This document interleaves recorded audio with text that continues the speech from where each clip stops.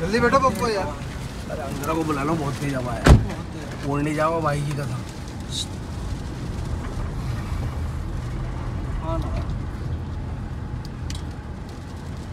तिरछा चल रहा तीर से चल रहा है? वो बहुत तेज हवा है। काम हो गया यार भाई साहब हैं?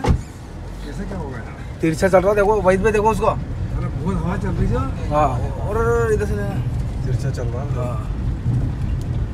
उड़ रहा हवा से उड़ रहा। और ये एक और आ गया यार। हटाऊँ क्या? नहीं नहीं निकल तो थोड़ा जल्दी निकालो अपने गाड़ी को ऊपर ले जाए पेड़ आ चुके हैं बहुत सारे नारे के पेड़ थे सारे जो उखड़ उखड़ के रोड पे आ चुके हैं तेज तूफ़ान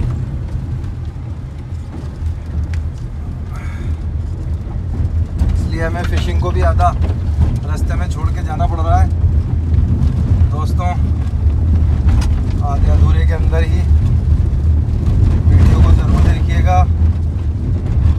बहुत अच्छा वीडियो होने वाला है दोस्तों जैसा साइज़ था बता नहीं सकता आपको अगर लग जाता तो आप। दुआ करिए लग जाए।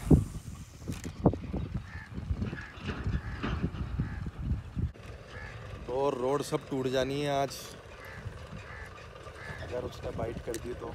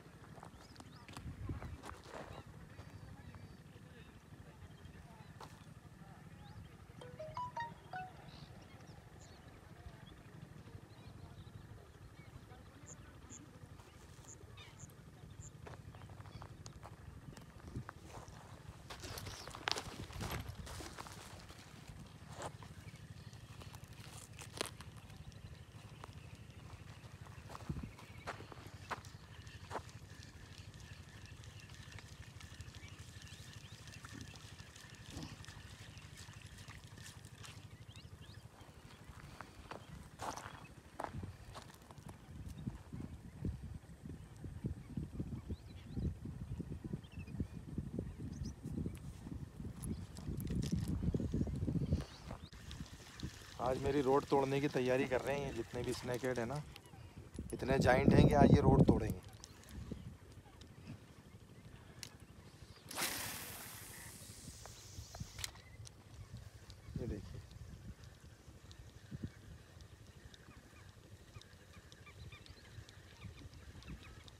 चल, मैं फ्रॉक गिरी उस पर आए अगर थोड़ा आगे पीछे होता तो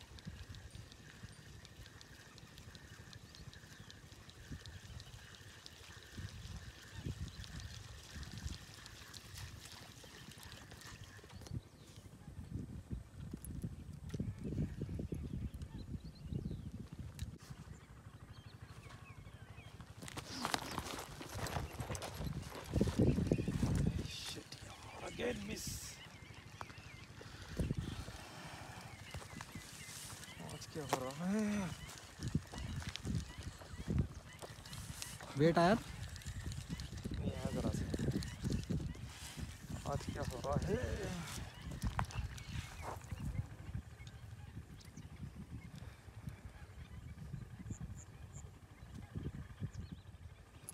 आज पता नहीं क्या दोस्तों। आज बहुत कोशिश। जाइंट स्नैक हेड्स की। बट नसीब हमारा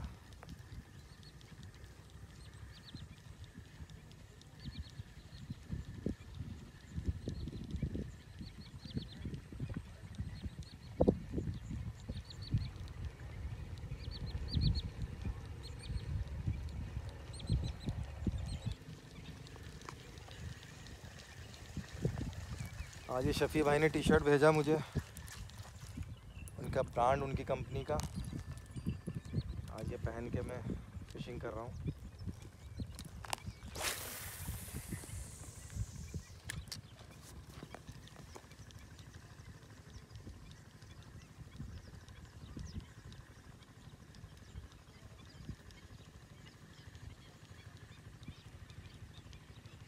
इससे अच्छा मौका दोबारा नहीं मिलेगा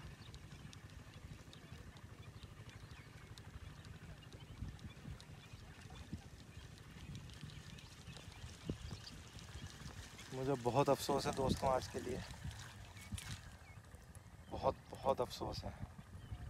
आपको बता नहीं सकता, इसमें बहुत सी गलती हुई जिन्हें हमें सुधारने की ज़रूरत है। अब दोस्त, देखिए दोस्तों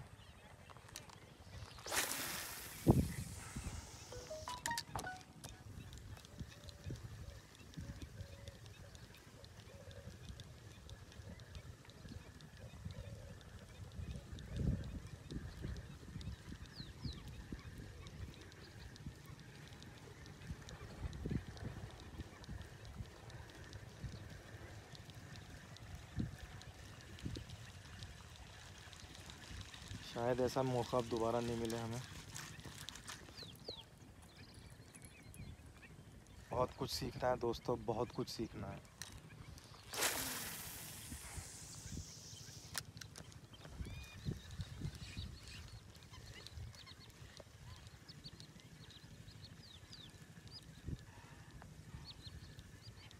दो चार स्नैक हेड मार के अपन अपने आप को बहुत खिलाड़ी समझने लग जाते हैं। मगर दोस्तों, आज बहुत बहुत मुझे अपने आप पे गुस्सा आ रहा है। मुझे बहुत अफसोस है। आज मेरे इतने बड़े बड़े चाइंट स्नैक हेड छूट गए हैं। ये वीडियो मैं आप लोगों को ज़रूर डालूँगा दोस्तों। चाहे मेरे स्नैक हेड लगे या ना लगे टाइटल कुछ इस तरह से रखेंगे, कुछ कमी है, कुछ सीखना है, कैसे सीखें, क्या करें, अपनी गलतियों को कैसे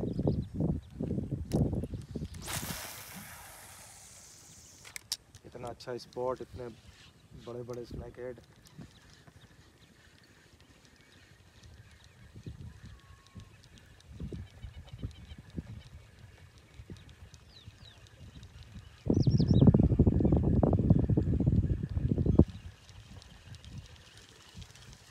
बहुत मिस कर दिया दोस्तों, बहुत मिस कर दिया। दोस्तों, ये बात हमेशा ध्यान में रखिए जो मेरा स्नैक हेड अभी छूटा है। उसकी वजह ये रही कि उसने बाइट करने के बाद वो मेरी तरफ़ आ गया।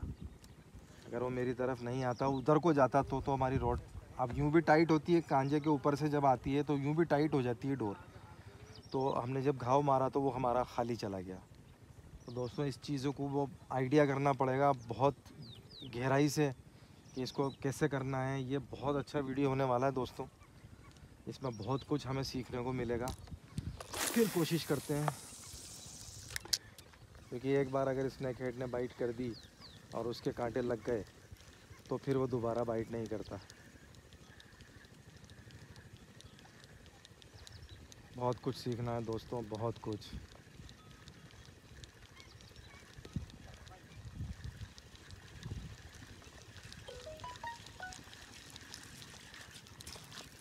ओके okay, दोस्तों thank you thanks for watching lunch break पे आए दोस्तों। अब देखिए, आगे का गेम स्टार्ट करेंगे। अभी तक तो हमारे कुछ भी नहीं हुआ और आपने देखा कि हमसे क्या गलती हुई है। तो आज हम स्पोर्ट भी ढूंढेंगे स्नैक हेड के लिए कौन सा स्पोर्ट सही रहता है। और क्या होता है तो देखिए, अब शुरू करेंगे। थोड़ी सी दूर पे यहाँ चाय पीने आए थे। चाय रेस्ट टी रेस्ट तो देखिए आज आपको भाई जैक फिशिंग का टी शर्ट पहन के आए हैं, देखिए। तो स्टार्ट करेंगे दोस्तों अपना गेम थैंक्स देखिए फ्रेंड्स ये छोटा सा लगा है. अब इसको रिलीज़ करेंगे हम. आधा किलो का साइज़ है. ठीक है दोस्तों. थैंक यू एक दो फ़ोटो और खींच लें.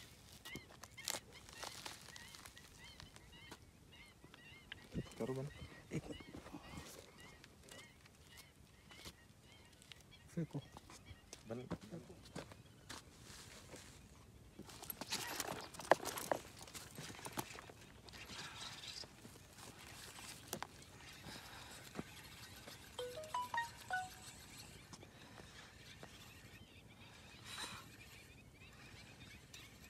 देखिए दोस्तों, मेरी तरफ़ देखिए, इसको एक बार नीचे ले जाइए, फिर ऊपर ला के फिर नीचे लाते टाइम वापस इसको ऐसा करिए।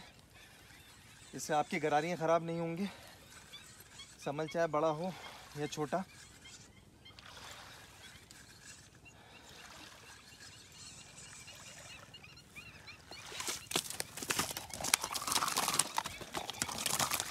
देखिए, बहुत अच्छा साइज़ है।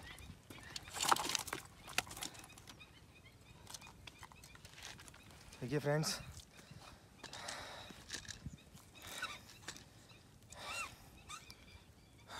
पापा इसको हटाना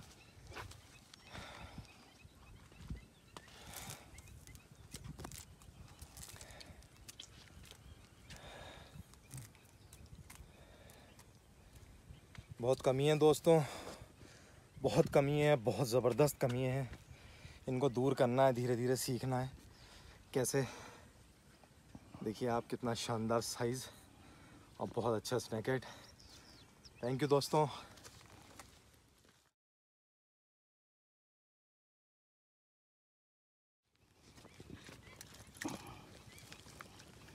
देखिए फ्रेंड्स संभल कैसे ढूंढें हम पानी के अंदर? तो ये जो कंचा दिख रहा है आपको पूरा, इसको चोई भी कहते हैं, कचरा भी कहते हैं। बेले भी कहते हैं, कई लोग अलग अलग नाम से कहते हैं बट ये है कि क्लियर वाटर नहीं है, साफ़ पानी नहीं है। तो साफ़ पानी नहीं है तो साफ़ पानी नहीं है, इसका मतलब यहाँ पे अगर पहले कभी स्नैकेट रहा हो, किसी ने बीज डाला हो, जैसे तालाब होते हैं, डैम होते हैं, नदियों में तो अपने आप आ ही जाता है। तो आपको इन चीज़ों पर ध्यान रखना है, आपको ढूंढना कैसे है? या तो किसी ने बताया हो आपको, या संभल का जब बच्चे देने का टाइम होता है तो उसके बच्चे दिखे आपको। या किसी शिकारी ने कहा होगा कि इसमें हमें स्नैक हेड मिला है। तो आपको चला के चेक करना पड़ेगा कि इसके अंदर स्नैक हेड है कि नहीं है। उसके बाद ही आप अपना गेम खेलिए। तो दोस्तों, ये बहुत ज़रूरी चीज़ है कि आपको पता होना चाहिए, तालाब में खेलने से पहले, नदी में खेलने से पहले डैम में खेलने से पहले कि उस जगह पे स्नैकेड है कि नहीं। नहीं तो आपका अपना टाइम ख़राब करना हो जाता है। तो दोस्तों, इस डैम इस तालाब में तो है तो हम कोशिश करते हैं देखते रहिए आप।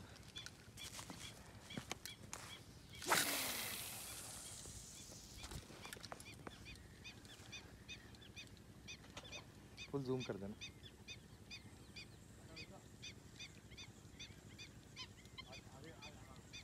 कर ले। उधर ले लो। और पिला दो भले बड़ा है समझ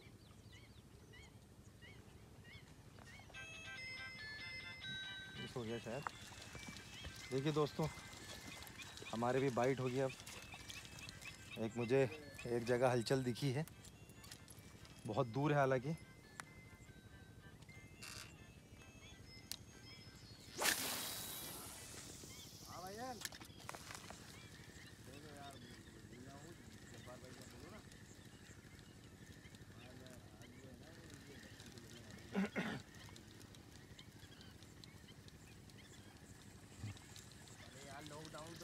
थोड़ा सा रॉन्ग साइड गिर गया है।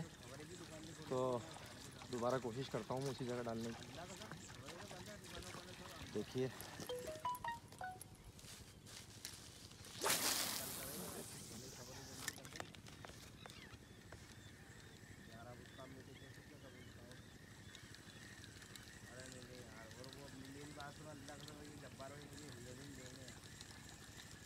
दोस्तों, ये कंजा जहाँ पर होता है, वहीं पर ये आपको सर्च करना है कि स्नैकेड है या नहीं है, या जो भी फ़िश का आपको देखना हो तो आप पहले लोकल कोई आपका फिशरमैन होगा, उससे पता लगाइए। ये देखिएगा बाइट होगी। ये देखिए आप। मिस हो गया।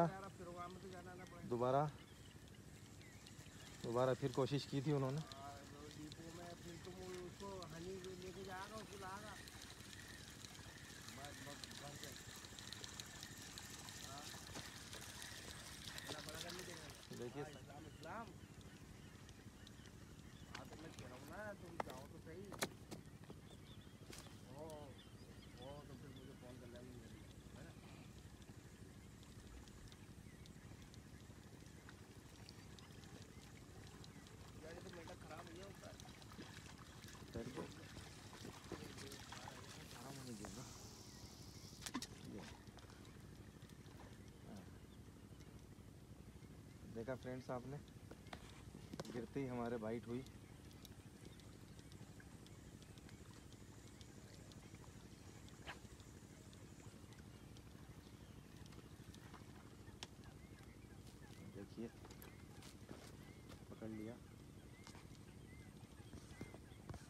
गया वापस?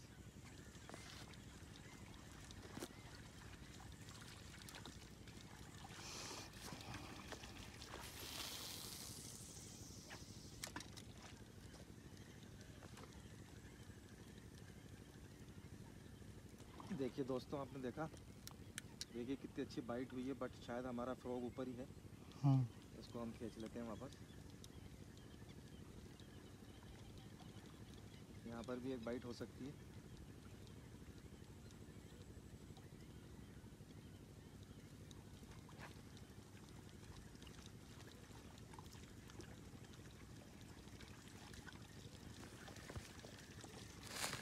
एक्चुअल में ये बाइट जो हो रही हैं, ये कर नहीं रहे हैं, ये बाइट से हमें बचा रहे हैं। अपने हमारे फ्रॉक को ही बचा रहे हैं मतलब भगा रहे हैं वहाँ से कि ये बाइट नहीं करें। क्योंकि उनका अंडों का टाइम होता है उस टाइम पे तो ये बचा रहे हैं।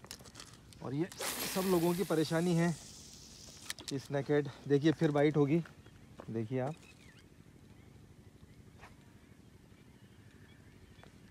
देखते रहिए दोस्तों, गौर से देखिए। मैं जितना जूम करके आपको दिखा पा रहा हूँ, उतना दिखा रहा हूँ।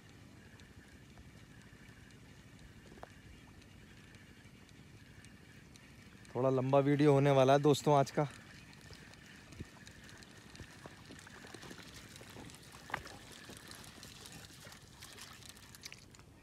लास्ट टाइम इधर करेंगे, फिर चेंज जगह चेंज करेंगे।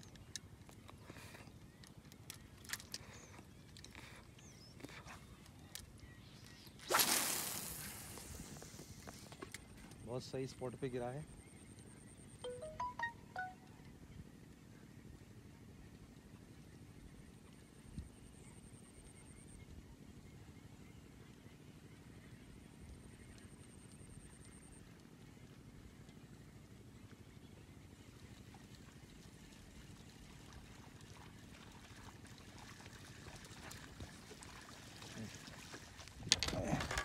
ऐसा लगा है कि भाई के शायद बाइट बाइट हुई है, मैं बहुत दूर हूँ उनसे। उनके पास जा रहा हूँ। राकेश भाई के, मैं क्या थोड़ा दूर हूँ? उनके पास जा रहा हूँ।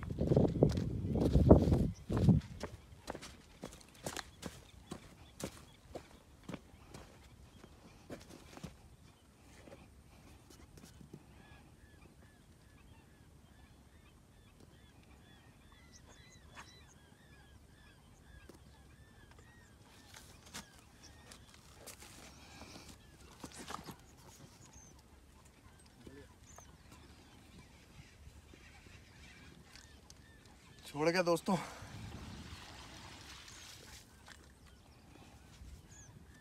ओके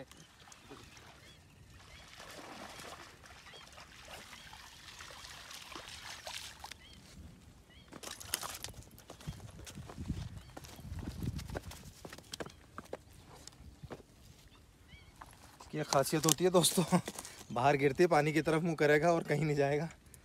देखिए बहुत देर से ये बाइट कर रहा था। फाइनली आई कॉट इट दोस्तों वीडियो पूरा देखिएगा। बहुत मज़े का वीडियो होने वाला है। थैंक यू देखिए दोस्तों तेज हवा है। देखना भाई कैसी मेहनत कर रहे हैं देखिए आप। फिशिंग के लिए आप लोगों के लिए। देखिए पानी का नज़ारा इधर।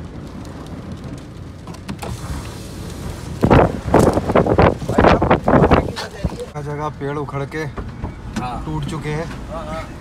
पप्पू भाई की मेहनत तो टाटा साहब की। अबरार भाई की।